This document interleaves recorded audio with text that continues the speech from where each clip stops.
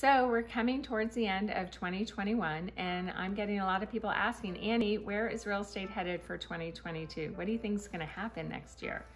Well, I'm going to give you my two cents and break it down for you coming up.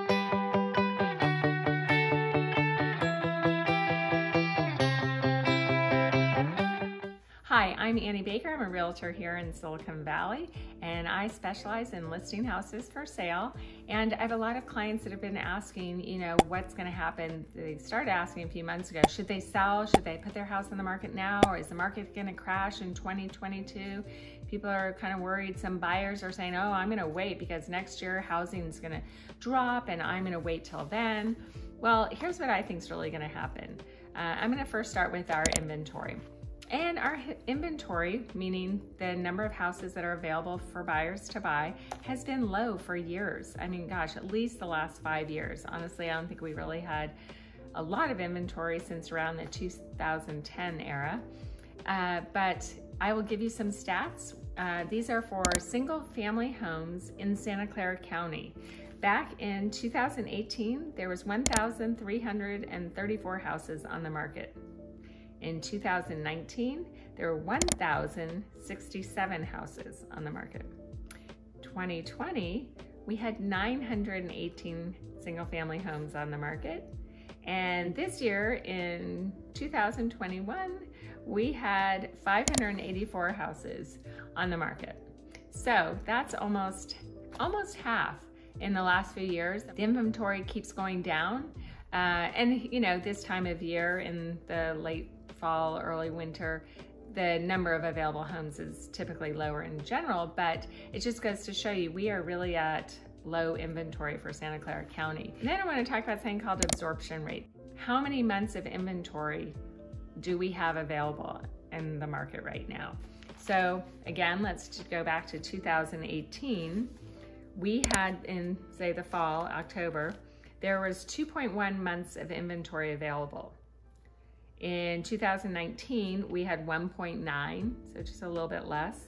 2020, there was one month of inventory available. 2021, we're at 0.6, so just over half a month of inventory. And the experts say for a normal, stable housing market, you should have between five and six months of inventory available. So we haven't been at a normal, stable real estate market for years, meaning sellers have really been in control. The majority of sellers are sellers, you know, get multiple offers. There are more buyers for the house. Uh, so buyers are really at the mercy of sellers. That's not a normal real estate market.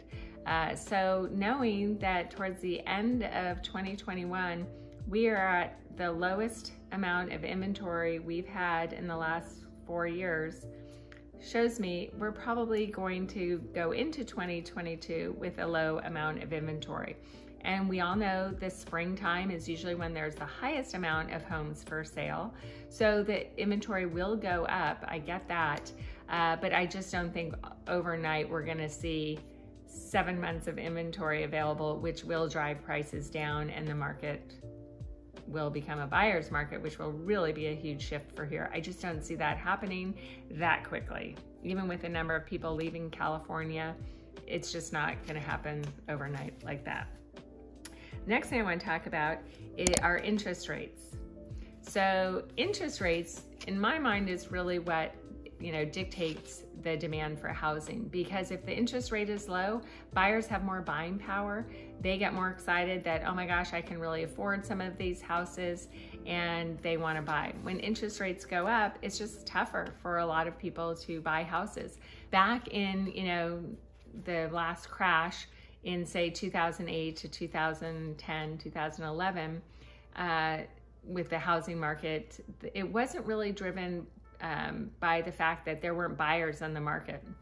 There were plenty of buyers still on the market. Problem that really came up was the lending industry kind of froze and guidelines and restrictions put on, you know, by the banks for buyers were so strict that a lot of people just couldn't afford, they couldn't qualify for a loan. In the early 2000s, banks were giving loans away to people probably that never should have been in the business of owning a home but they gave them away. That caused a lot of issues. And good people, people that had had stable income for years, all of a sudden couldn't qualify for a loan. I remember one client in particular had been in the same industry for like 15 years. They had been qualified, pre-qualified to buy a home. It was like 1.8 million dollars. And when things shifted, and they just hadn't bought yet. They saw the smaller house they were fine in. But when things shifted with lending, they the husband made a job change and even though he was in the same industry he did not have two years of history at that company. He could not get a loan. Mean he finally did but it took a while. So that just prevented good buyers from being able to buy which then softens the market because there aren't as many buyers available and there you have it. So here's some information about interest rates so um, I'm going to say the average interest rate back in October 2018 was 4.83%. That's still a really good rate, under 5%. 2019, it was 3.69, still great. 2020, 2.83. I mean, honestly, under 3%, that's almost like free money if you ask me. And this time, 2021, around October, November, the average rate is around 3.07. So really fantastic, right? Let's go back a little bit further. In 2013, the average interest rate was 4.19%. Go back even further, 2008, the interest rate was 6.20. 2007, 6.38. I'm going to do a big jump here. 1990, it was 10.13%. Could you imagine paying 10% for your interest rate for a mortgage right now in Silicon Valley? What would that do to the housing market? That would slow things down pretty darn fast. Okay, remember that 1990 for a reason. Uh, so one of the things that will affect the interest rate is the inflation rate. And right now, our inflation rate is going up rather quickly.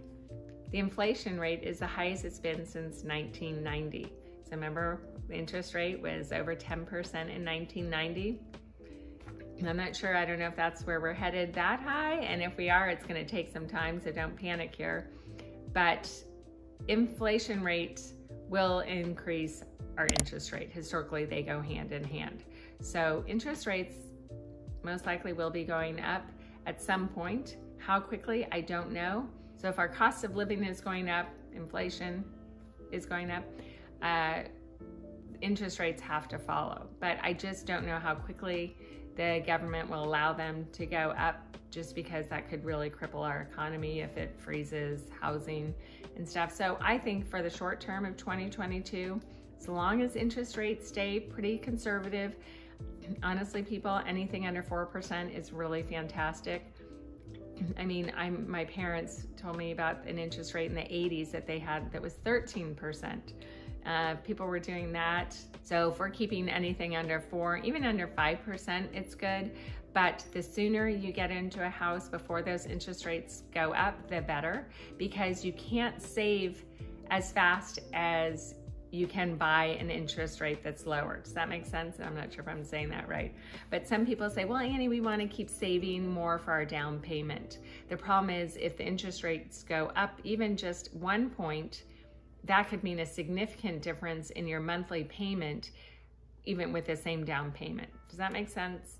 Um, okay, I'm not sure if I'm doing a good job explaining that, but um, interest rates really are the buyers' best buying power is a lower interest rate more so than just, you know, a higher down payment. So again, I don't think they're gonna jump up overnight, but that's something really to consider. But with inventory so low, I don't see that jumping significantly either. The absorption rate is so low.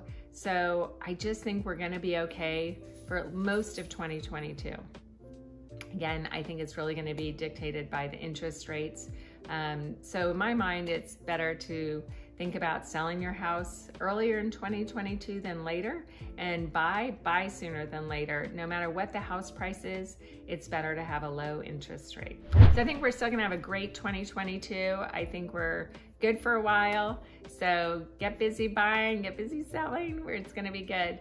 Uh, and if you have any questions, if I didn't explain something that well, sorry, I do, I'm just at the tail end of a cold, so well, that's At least that's my excuse. um, but anyway, feel free to reach out with any questions. Do me a huge favor and subscribe to my channel. If you liked anything I'd say, give me a thumbs up. Comment below. Look forward to hearing from you. And, and until next time, have a great one.